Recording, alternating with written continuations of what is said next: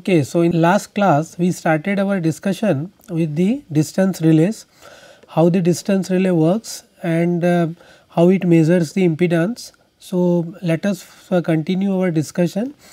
The next topic is the reach of distance relay. As I have already discussed in the last class that the distance relay measures the impedance from relaying point to the fault point and this impedance is positive sequence impedance.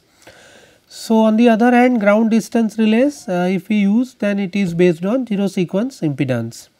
So, whenever any distance relay we put in the circuit then in that case if I consider let us say a bus A which is there is a line connected between A and B and we put one distance relay here R which is also fed by the line PT also Obviously, whenever fault occurs on the line the distance relay uh, just measure the impedance and when the measured impedance is less than some set value of impedance then relay operates. So, the up distance up to which the distance relay measures the correct value of impedance and provides operation. So, further tripping uh, to the circuit breaker so, that area or portion that is known as reach of the distance relay. So, reach means nothing but the area up to which the distance relay is capable to sense the fault whenever it occurs on the transmission line.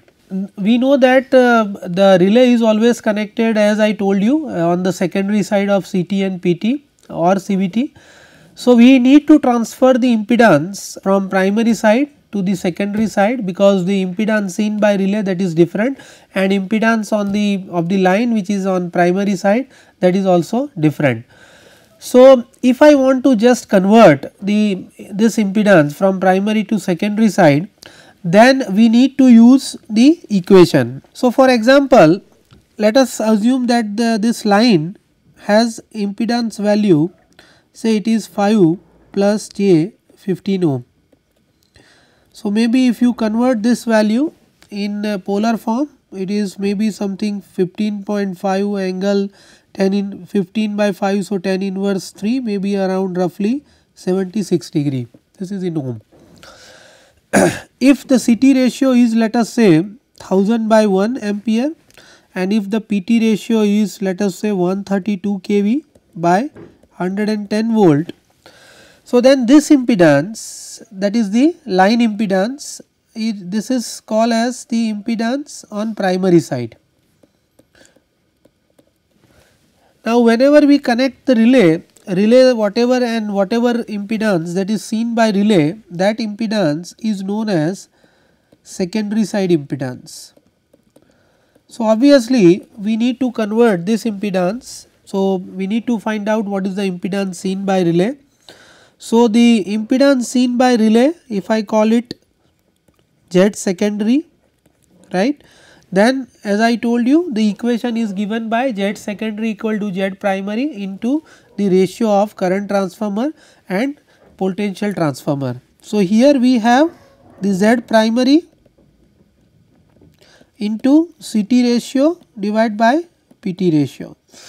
So, this Z primary that is this value 15.5 at an angle 76 uh, and into CT ratio. So, that is uh, 1000 by 1 and whole divided by PT ratio that is 132 kV. So, here the value is 132 kV. So, 132 into 10 raised to 3 divided by 110 volt.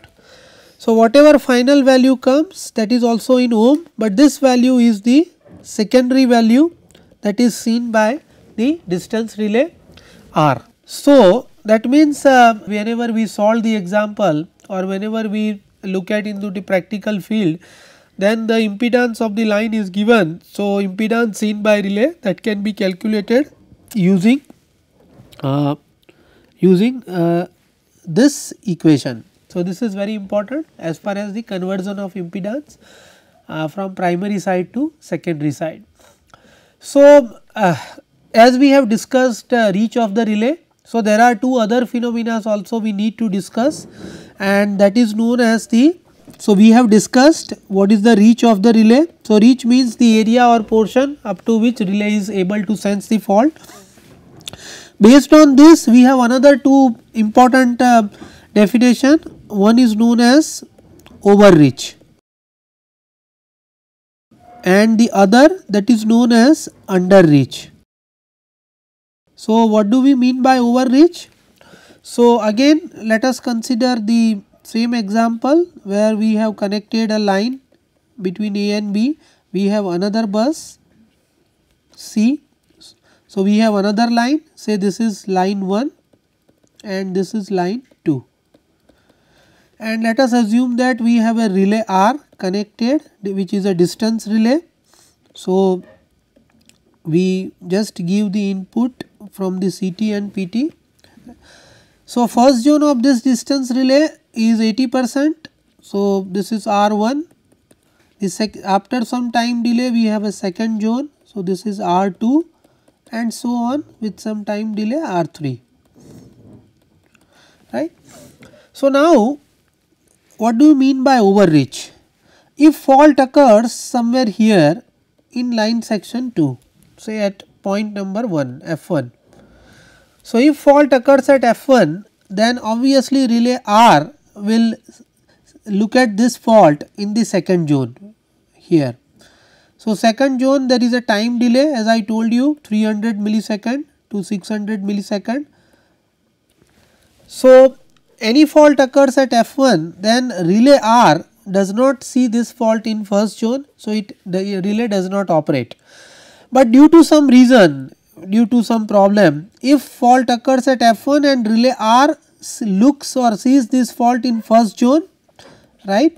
So, first zone and if relay and in first zone relay operates instantaneously. So, if relay R operates for the fault at F1 instantaneously then that is known as overreaching of the distance relay. So, overreaching is defined as it is the tendency of distance relay to operate beyond its zone of protection. So, here in this case in second zone if any fault occurs in first zone then and then relay R has to operate instantaneously but if any fault occurs beyond first zone and if relay R operates then that is known as overreaching of the relay. Similarly, let us see what is underreaching of the distance relay. So, underreaching means if fault occurs within, so this is the first zone area. So, if any fault let us say fault occurs at point 2 F2. So, obviously this fault is in first zone of relay R. So, relay R has to sense the this fault and it has to operate. But if relay R does not operate or if R is not capable to sense the fault at F2 then that is known as underreaching of the relay. So, underreaching of the distance relay is defined as it, as it is the tendency of distance relay to remain in blocking condition or to remain in inoperative condition even though the fault is within its zone of protection.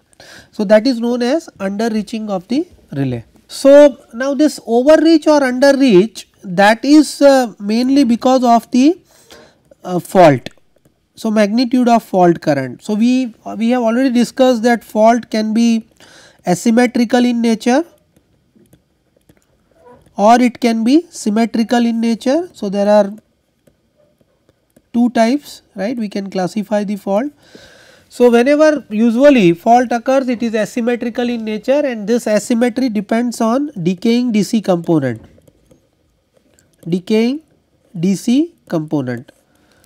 So, this decaying DC component is responsible for the whether relay overreaches uh, or relay operates correctly. So, the value of this decaying DC or DC offset in the fault current that is responsible for this uh, overreaching of the relay. Uh, the ratio of DC offset to the fundamental frequency component that depends on the instant at which fault occurs. So, if I just if we find out what is the value of DC offset and then if we take what is the fundamental frequency component of uh, of that value maybe current then uh, that depends on the instant at which fault occurs switching instant we are talking about. However, the instant of fault we cannot predict. So, it is not in the user's hand and so the rate of the decay or this uh, DC offset at which rate the DC offset decays that depends on x by r ratio of the system and for modern system the x by r ratio that is very high. However, the DC offset uh, is present only up to first few cycles 4 5 cycles and uh, this distance relay operates instantaneously only in its first zone. So, it operates in time delayed in second and third zone. So, second and third zone uh, of the distance relay are not affected by this transient overreach or decaying DC component. So, whenever the distance relay overreaches uh, and if that phenomena lasts only for first few 4 5 cycles immediately after the occurrence of fault then this type of phenomena is known as transient, transient overreaching of the distance relay. So, as the transient overreach disappears after few cycles, so second and third zone of distance relay are not at all affected by transient overreach phenomena. So, how to find out this uh, percentage transient overreach? So, that can be obtained using this equation. So, in this equation you can easily find out the value of percentage overreach that is uh, uh, for any distance relay. So, in this case Zx that is the maximum impedance for which the relay operates uh, with uh, an offset current wave uh, for an adjust uh, for a given adjustment and Zy is the maximum impedance for which the relay operate for symmetrical current for the given adjustment of the value of Zy. So, using this you can easily find out the percentage overreach in any distance relay. It is also true that as the uh, angle phi which is tan inverse x by r increases the transient overreach also increases and for our long UHV and EHV line the inductive reactance is very high. So, obviously the spacing between the conductors increases due to because of utilization of bundle conductors. So, the value of transient overreach also increases. Now, with this background let us see what are the different types of distance relay characteristic that is available in market. There are many types of uh, characteristic available as far as distance relay is concerned. So, which type of characteristic we use that depends on the application. Suppose if I want to use uh, it, uh, any distance relay for the protection of short lines then we have to go for reactance relay. If I want to protect a long EHV transmission lines then we should go for Mho relay and maybe further quadrilateral or some other type of distance relay characteristic. So, it depends again on the application. So, let us discuss different types of characteristic. So, usually uh, there are 6 characteristic uh, the, it can be more also, but uh, let us restrict up to 6 only. So, the first characteristic is known as impedance type distance relay so, if I use the impedance type distance relay then this characteristic is shown here. This is the impedance type uh, distance relay characteristic. And you can see that it uh, there is a circle on the Rx plane. Now, the important point is you can look at if I just uh, draw on this side the Rx plane then line to be protected or connected between two bus that is somewhere here this is A and B and this is your line to be protected this is angle phi. So, if I draw the circle from this point right uh, say this is your 80 percent region then if I extend this line vector then any fault occurs on reverse side of this relay or bus the impedance relay also detects or senses this type of fault. So, to avoid maloperation of impedance relay on reverse fault normally in actual field we use the uh, directional unit. So, this is nothing but the directional characteristic. So, we have a directional characteristic like this. So, now the relay that is not going to operate on this side of the region. Now, you can also see here on the impedance characteristic uh, if any any value above on this side it you have a positive torque region that is PTR and any value below this characteristic I told you this side that is negative torque region and you have the angle theta right. So, that this theta is nothing but this is your Z1 and this theta that is your k1. So, this theta is nothing but your characteristic angle theta of the distance relay. So, this is all about uh, impedance characteristic. This type of characteristic is not used in the field because it whenever you use it you have to again further use it directional relay along with impedance relay. So, that is the biggest disadvantage of impedance type distance relay. The next type of characteristic that is known as the reactance relay. So, as the name suggests the reactance relay measures the reactance only. So, uh, if fault occurs uh, uh with any value of fault uh, fault resistance then this type of relay that is not affected by that phenomena we will discuss later on what is the effect of fault resistance on the performance of distance relay. So, you can look at here the characteristic of reactance relay the characteristic angle theta that is 90 degree in this case. So, the theta is not there we can say. Now, you can look at here the uh, any value uh, beyond this line below this line that is this line. So, relay operates and any value above this line that is relay blocks. Now, when you consider it measures only impedance uh, reactance. So, this point this line is nothing but the you can say 80 percent of x value or inductive reactance part of the transmission line. So, whatever primary impedance of the transmission line is given you take 80 percent of x that is nothing but the uh, this value set value x set of the reactance relay. Reactance relay is normally used uh, for short transmission line. So, when, when we have a feeder whose length is very small, uh, at that time we can use the reactance relay because uh, in that case the uh, fault impedance is very high. So, if I use reactance relay then there is no effect of uh, fault impedance on the reactance relay.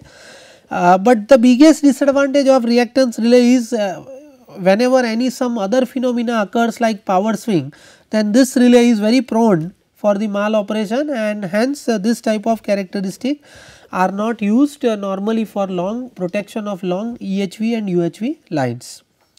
So, the third type of characteristic is known as Mho or admittance relay sometimes it is also known as angle admittance relay. So, it is basically the modification of reactance relay so, here reactance relay theta is not there, here the value of theta is there some value and uh, whenever you want to obtain this, uh, this type of characteristic. So, what you do is that in, uh, in such type of characteristic it is not shown here this characteristic.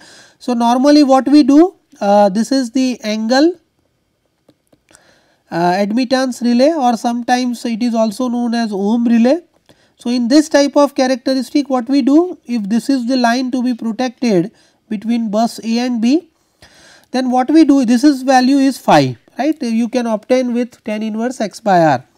So, with this line impedance vector you take the inverse tangent. So, whenever you draw a line like this so when this angle is 90 degree right this angle is 90 degree with reference to this is your line impedance vector. So, when this you draw a characteristic like this then that type of characteristic is known as ohm relay. So, any value below this relay operates any value above this relay blocks. Then the next type of characteristic that is known as Mho type characteristic. Mho type distance relay is widely used in field because you can see it is inherently directional. So, no separate directional unit or relay is required and uh, it, it is also capable to accommodate uh, some, uh, some value of fault resistance also. So, you can see that if any point that falls under this uh, shaded area that is circle relay operates otherwise relay blocks. The next characteristic that is known as the offset Mho relay characteristic. So, only difference between Mho and offset Mho is this point which is origin that is slightly shifted below just to accommodate only uh, this much portion right. This is mainly done because whenever the fault occurs very near to the bus suppose we have a line connected between two bus A and B and if closing fault occurs somewhere here then it may possible that your point may fall inside this region. So, to avoid that usually we use offset Mho type characteristic. The function of offset Mho type characteristic that is similar to the Mho type characteristic. So, now let us consider the another type of characteristic that is known as quadrilateral characteristic. So, quadrilateral characteristic you can see this portion that is very important. So, in some cases they also consider the quadrilateral characteristic that is of this nature also. Sometimes you may find the quadrilateral characteristic sorry this is not there. So, quadrilateral characteristic like this. So, all this angle that is defined right. So, here I have shown only point is that this region or this region. So, it is capable to accommodate more value of fault resistance. So, any fault occurs with considerable value of fault resistance then that is also detected or sensed by quadrilateral type distance relay that is one thing. So, we have discussed uh, this all 6 type of distance relay characteristic. And uh, whenever you use any type of characteristic each characteristic has certain advantages and disadvantages and we have to optimize for a particular operation which type of characteristic we uh, we want to utilize it. Whenever you use any type of this characteristic there is a possibility of mal operation of uh, any uh, particular distance element for example, if I use reactance relay then there are fair chances of maloperation of reactance relay because of power swing and uh, overloading condition because when you set the third zone setting of the reactance relay or any type of distance relay that is done considering the uh, maximum loading uh, or overload the line can take. And as I told you as you increase loading on the line the locus that point shifts towards the towards that uh, region of third zone of the relay. So, for example, if I consider the locus right let us say this is the first zone we have the second zone and you have the third zone like this and the load area is somewhere here. So, in normal condition the fault point is somewhere here and as you move as you increase the load on the line this point will shift like this. In case of fault this point will again shift and move and somewhere settle down here that is fine. But in normal as you increase the load when there is no fault over when overloading of the line occurs then this point shifts. So, as you move uh, towards this this is your third zone of the distance relay. So, third zone setting is always carried out based on the what maximum overload a particular transmission line can take. So, this is one important point. Okay. So, as I told you Mho relay is inherently directional. So, and it can also accommodate uh, uh, some marginal value of fault resistance also. So, it is used for long uh, EHV and UHV transmission lines. However, nowadays we know that uh, we are utilizing digital relay and all earlier electromechanical and static type of relays are replaced by digital relays. So, whenever we use digital distance relay in actual field then this relay has different types of characteristic like quadrilateral, elliptical, uh, quadramo. So, you can configure or develop your any type of characteristic even user custom design characteristic that is also possible. So, depending upon for what application you are utilizing you can choose a particular characteristic. Okay. So, now whenever you consider the uh, reach of the relay, reach of the distance relay, overreaching can cause third zone unit to trip undesirably particularly in case when you have uh, loading on the transmission line is increases or maybe when you connect uh, distribution transformer is connected nearby line. So, in that case whenever you decide the third zone setting of distance relay you need to take care uh, you need to consider this point. Moreover, discrimination between fault and overload that is very important even discrimination between fault and some abnormal phenomena like power swing that also very important and your distance relay is capable to discriminate or distinguish between these two phenomena. So, that is very important point. Okay. So, after such discussion now let us discuss that what are the different types of distance relay. So, whenever I consider the distance relay, distance relays are basically classified by two units, one is known as phase type distance relay and another is known as ground type distance relay. So, for example, if I have transmission line connected between two bus, let us say A and B and we have the three conductors say R, Y, B and we have the relay located here right this is your relay uh, supplied by CT secondary and PT secondary. So, this relay distance relay when we talk it can be phase type relay distance relay or it can be ground type distance relay. When I consider phase type distance relay the phase type distance relay is uh, capable to take care of line to line fault. So, it can be RY type fault, it can be YB type fault or it can be BR type fault. So, any type of this line to line fault either RY, YB, BR the phase distance relay uh, detects and then uh, gives further signal to the circuit breaker. It is also capable phase type distance relays are also capable to take care or detect triple line fault. So, this is say RYB fault. So, any type of this phase to phase fault occurs which uh, do not involve ground then phase distance relay that detects and further gives signal to the breaker.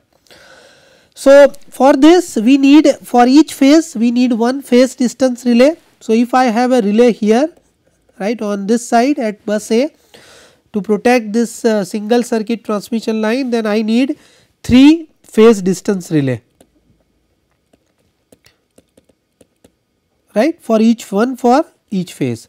So, 3 phase, phase distance relays are required to detect or take care of either line to line fault or triple line fault.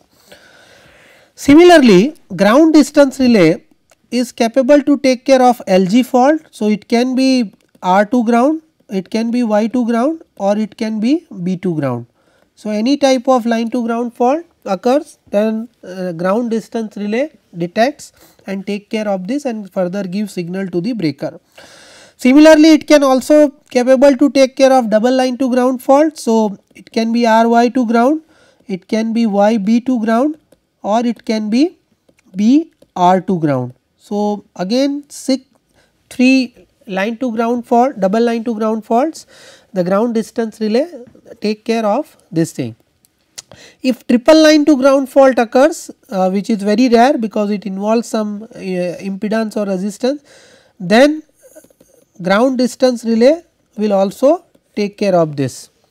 So, for at this point at bus A if I want to protect single circuit transmission line then along with 3 phase distance relays we also need 3 ground distance relays. Right.